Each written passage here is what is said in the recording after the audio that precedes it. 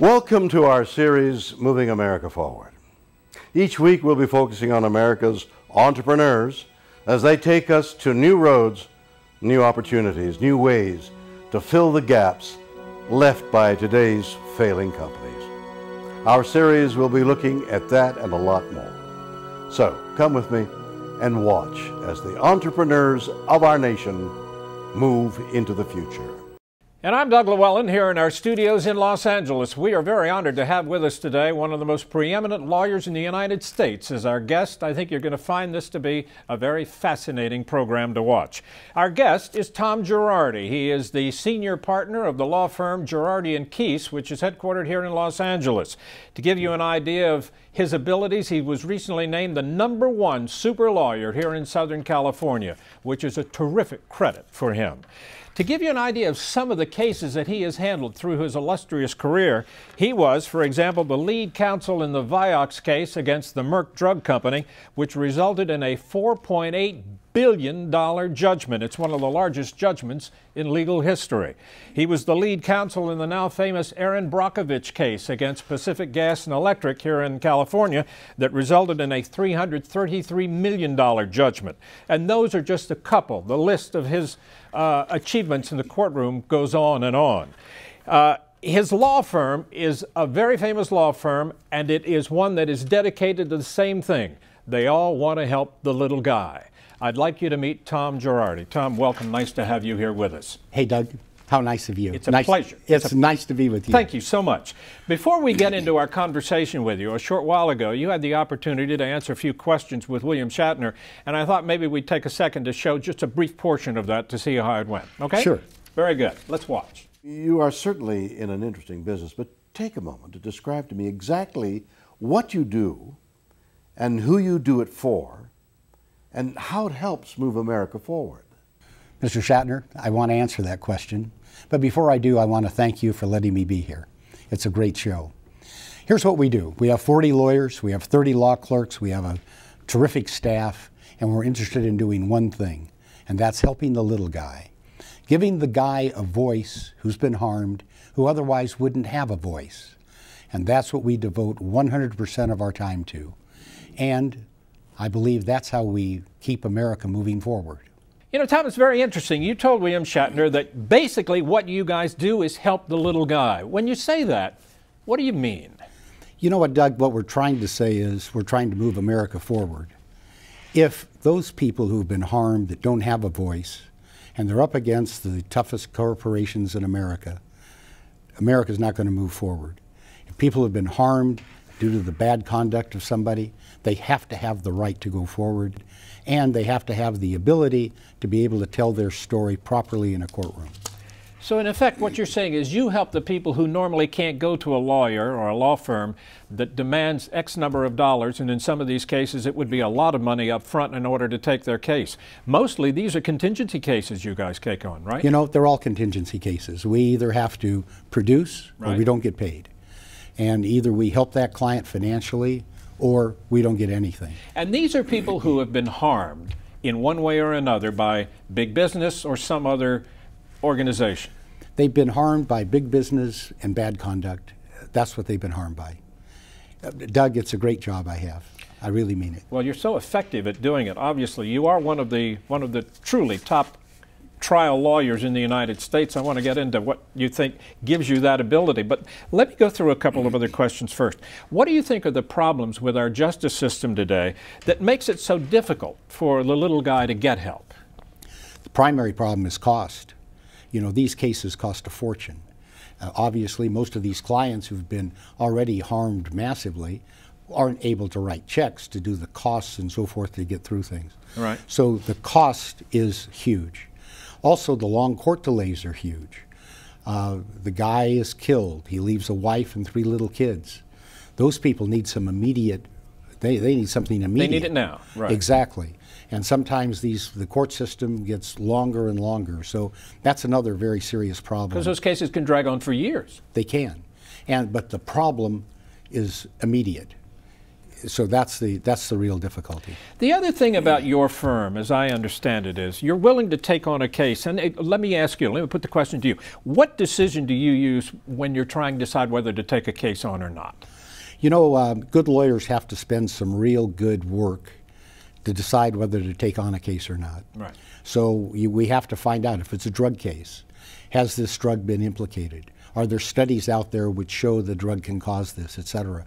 So a lot of times you have to put a lot of money into the case just to make sure the client really has a case. Because nothing is worse than having a client led down some garden path that ends in disaster. They're entitled to that information early in the game. So you're willing to put the money up, and sometimes it can be a lot of money before you decide to even take the case. Of course, but that's the only right way to do it. And I mean, we're talking, uh, it could be a million dollars that you invest. Sure, in some of these drug cases that we've been against the drug companies on, the firm has had as much as $14 million of our own money into the case for experts and so forth. Yeah. You know, you, you talk about drug cases. You handled the Vioxx case. There are a number of others. It's kind of like you've become an expert in the field of uh, lawsuits against drug companies. Uh, let me just mention some of these. Actos, that's a drug for diabetes. You, you handled that case. Yes, we're, we're involved in that case right now. It has a terrible side effect. These people, first of all, have diabetes, so they have a problem already. All right. This stuff gives them bladder cancer. I mean, it's awful.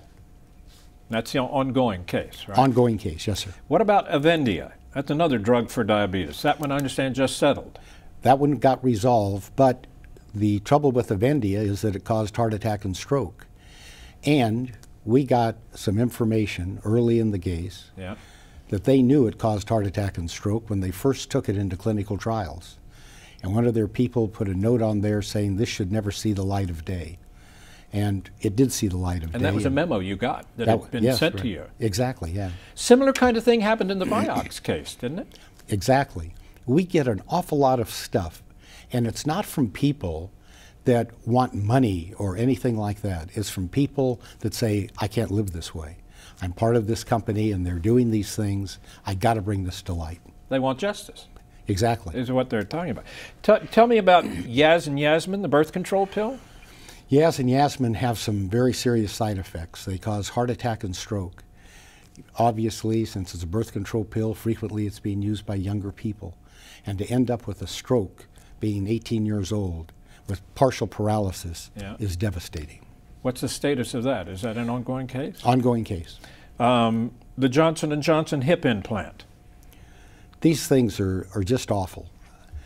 The hip implant that was made uses metal on metal. Generally, in the hip implant, there's something that goes down into the femur, and there's a ball, and there's a rubber washer, for lack of a better term, and then there's the socket. Uh, the DePuy hip decided to eliminate the washer, the rubber washer. So now it's metal on metal. Next thing you know, the metal on metal is grinding. The next thing you know, cadmium and calcium and chromium is in the blood, Right. and the pain is enormous. It's really bad. So what's the status of that? Status of that is it's ongoing. Ongoing. Uh, a lot of things are happening in that case, and you hear you represent these people frequently, Doug. These are older people that have the hip implant to start with. True. The last thing they need now is being in serious pain, having to go back, have yet another surgery to remove it to get something else in there. You know, we're based here in Los Angeles right now. There's a case here in LA that has, has uh, made a lot of noise, but yet people all across the country have heard about it. About this chap who went to a baseball game at Dodger Stadium and ended up, he had, he had a wrong t shirt on and, and was attacked and was severely beaten and injured. You're handling that case. No, we are. And once again, what a terrible situation. Here, this great guy, young kids, goes to the game. He's a Giant fan, He- and he went to the Dodger Giant game. And lo and behold, he gets assaulted as he's leaving the stadium so badly, he has massive brain damage and will never be the same again. Yeah. And the problem was that we've developed that the Dodgers got rid of most of their security people and so forth under McCourt, not the new ownership, Yeah. uh, to save money. and so a big here, lawsuit there. here this guy now goes through life this way without the love and affection and running around like he would, did before as a paramedic uh, because of people not paying any attention. Well, let me ask you something very because we don't we have limited time. What do you think is your strong suit as a trial attorney? Obviously, you're very effective. What do you think is That's the nice, key? Nice of you to say. The key is the cases we have are really good cases. People have really been wronged, Doug, and they've been wronged by bad conduct by somebody else. That's the first thing I think that, and the most important thing that makes a lawyer a good lawyer. But you said also that you concentrate on your ability to tell the story and get it across to the jury. You think that's really critically important? If if you can't do that, uh, as I said, you know, you better be in some other line of work, because all these cases are defended by superb law firms. Absolutely. Believe me, they know how to I talk uh, all the way down the line. And so the idea is that you have to connect with that jury. You have to keep credibility with that jury. If they think that you're fudging in any way, shape, or form, you're toast. And how important is your ability to read a jury? Well, it's crucial. Um, my dad used to go to court with me, sit in the back with a sweater on, and we'd be talking to the jury. We'd go to the men's room. He would say, Juror number six hates you, or whatever it may be. Yeah. So my dad's no longer with us, but still, the, the concept of reading a jury, making sure that you're doing everything you can to keep them in your ballpark is Yeah. crucial, very important. You've been doing this for a long time, very quickly. You still love what you're doing? Uh, it's great. It's great. I'm having more fun doing it now than I did when I tried the case of Keck versus Higgs, which was my first case. A $500 case. Yeah, about 500. Tom, thank you for your time. This has been very, very interesting indeed. One of the top lawyers in the United States today, Tom Girardi. Thank you so much, Tom. Hey, It's Doug. been very interesting. Nice seeing you.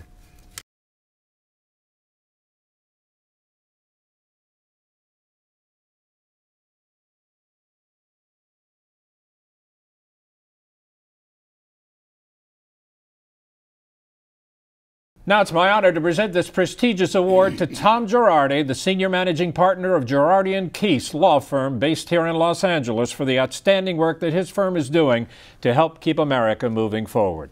Tom's pleasure to give this to you. Congratulations. Doug, that's really nice. But although my name's on it, there should be about another hundred names on it for that law firm people that work from dawn to dawn to dusk. And uh, but I do accept this, and I very very much appreciate it. And the nice things you said is very nice. I hope I can say something so nice about you someday. Thank you very much, Tom.